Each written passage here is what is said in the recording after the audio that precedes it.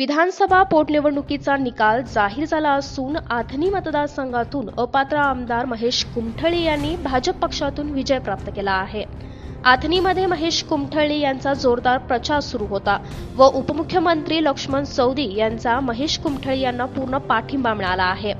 आथनी कागवाड व गोकाक या तिन्ही मतदारसंघामध्ये भाजप पक्षच निवडून आल्याने भाजप पक्षाच्या कार्यकर्त्यांमध्ये आनंदाचे वातावरण निर्माण झालेले दिसून येत आहे. आथनीमध्ये काँग्रेस पक्षाचे उमेदवार गजानन मंगसुळी यांना भाजप पक्षाचे उमेदवार महेश कुमठळी यांच्या विरोधात पराजय स्वीकार करावा लागला आहे. महेश कुमठळी यांनी आथनी मतदारसंघात एकूण चौऱ्याऐंशी हजार सातशे नव्याण्णव मते मिळवून विजय प्राप्त केला आहे. ಹೇಳುತ್ತಾ ಯಾವ್ಯಾವ ಸಂದರ್ಭದಲ್ಲಿ ವಿರೋಧಿ ಪಕ್ಷದವರು ಯಾವುದೇ ಒಂದು ಆರೋಪವನ್ನು ಮಾಡಿದರೂ ಕೂಡ ತಾವು ಈಗಾಗಲೇ ಕೇಳಿದರೆ, ಹಣ ತಗೊಂಡು ಹೋಗಿದ್ದಾನೆ, ಅಧಿಕಾರ, ಆಸೆ, ಹಲವಾರು ಅವು ಎಲ್ಲವನ್ನು ನಾವು ಸ್ಪಷ್ಟವಾಗಿ ತಳ್ಳಿ ಹಾಕ್ತೀವಿ. ಅವರ ಮಾತಿಗೆ ಅವರ ಪ್ರತಿಕ್ರಿಯೆಗೆ ಅವರ ಆರೋಪಕ್ಕೆ ನಮ್ಮ ಹನಿ ಮತಕ್ಷೇತ್ರ ಪ್ರಜ್ಞಾವಂತ ಮತದಾರ ಬಾಂಧವರು ತಕ್ಕ ಉತ್ತರವನ್ನು ಕೊಟ್ಟಿದ್ದಾರೆ.